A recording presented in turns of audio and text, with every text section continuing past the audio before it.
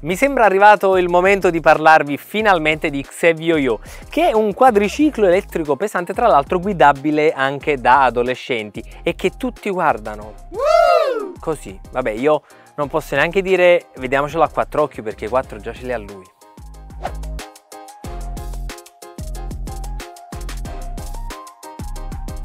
È carina perché l'aspetto è molto futuristico e esce un po' da quei canoni stilistici classici, no? Delle, anche dei quadricicli che già vediamo no? ampiamente sul mercato, anche con motore tradizionale a combustione interna. Ricordiamo che questa è una full electric ed ha dei tratti molto molto personali. Lo si vede per esempio dal design dei fari anteriori, degli stop posteriori, uh, questa alternanza di colori tra la carrozzeria, i pannelli di plastica, ma come come per esempio il portellone del bagagliaio dietro che è una sorta di effetto tutto vetro.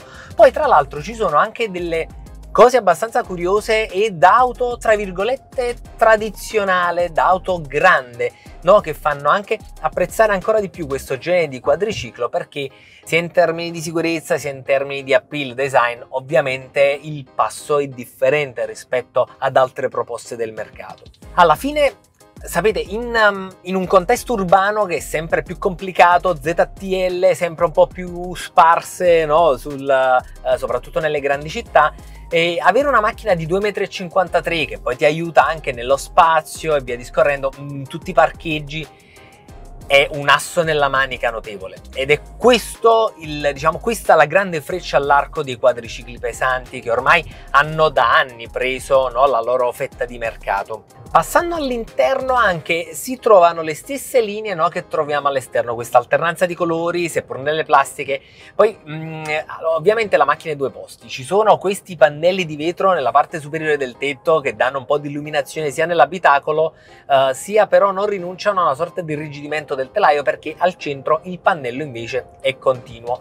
C'è il display 7 pollici per la strumentazione a fianco al quale invece c'è un portacellulare che è di tipo meccanico, nel senso che voi andate a mettere il telefono, viene mantenuto e c'è anche una presa di ricarica USB non troppo distante in modo tale che lo potete utilizzare come navigatore, come magari sorgente audio per sfruttare l'impianto audio interno della macchina, ma al contempo lo mantenete sotto carica. E questa è una cosa molto interessante.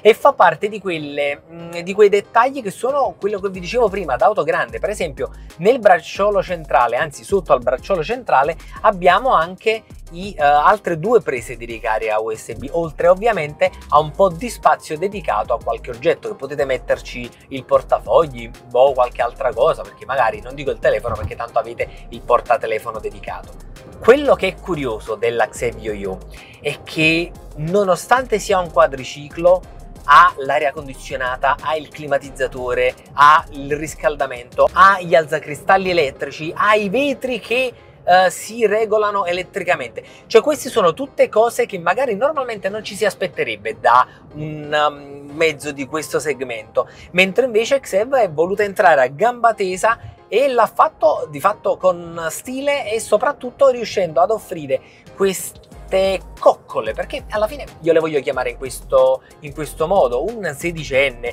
ma non solo i sedicenni, secondo me questa non è un'auto che si approccia solo al pubblico dei sedicenni, ma anche a un pubblico più adulto che vuole uh, girare in città veramente senza problemi, no?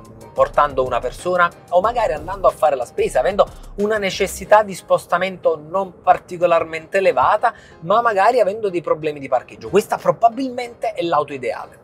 E passiamo quindi alla guida. Allora, abbiamo parlato del fatto che Yo-Yo è un quadriciclo completamente elettrico, ha un solo motore da 15 cavalli messo all'asse posteriore, la manopola al centro è il selettore delle uh, posizioni di guida con la possibilità di selezionare R, N, D ed S. Allora, il freno a mano Uh, è uh, diciamo a piede, non è più un freno a mano di tipo tradizionale, ma è un pedale sulla sinistra, quindi lo andate a schiacciare, ad attivare, ad armare con la gamba sinistra, lo andate sia ad attivare che a disattivare ed è di tipo meccanico.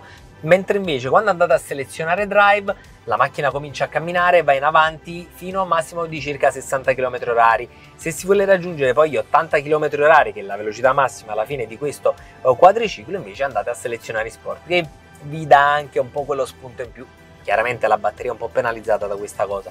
Se mettete sport qualsiasi uh, auto elettrica, ma voglio dire anche con lo sport delle auto tradizionali a benzina si comincia a consumare di più, quindi non è nulla di strano oppure non è nessun contro dell'elettrico, anzi in realtà è una cosa normalissima.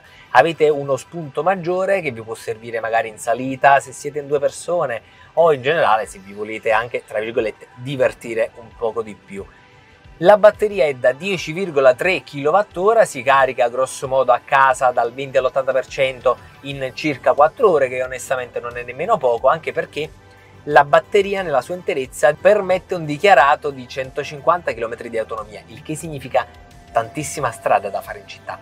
Voi non avete idea, 150 km, come è complicato riuscirli a fare in una sola giornata in città. Quindi alla fine tranquillamente tornate a casa, avete ancora secondo me tantissima autonomia a disposizione eh, e la mettete sotto carica per il giorno dopo. Quindi non vi dovete limitare in alcun modo.